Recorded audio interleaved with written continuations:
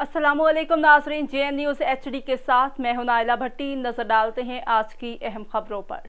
खबर शामिल करते हैं डस्का से। हमारे नुमाइंदे मोहम्मद फयाज अंसारी की रिपोर्ट के मुताबिक पाकिस्तान पीपल्स पार्टी के टिकट होल्डर और उम्मीदवार बरए पी पी बयालीस, मलिक परवेज, प्लीज़ एडवोकेट गेट की जेर क़्यादत में छांगा से फुआरा चौक तक डस्का को वजीराबाद की तहसील बनाने पर पुरजोर रैली निकाली गई, जिसमें मलिक चाँद, लुकमान, अशरफ अयाज, अहमद छांगा से क्रिश्चन बरदरी के लोगों ने और पाकिस्तान पीपल्स पार्टी के रहनुमा लोगों ने शिरकत की।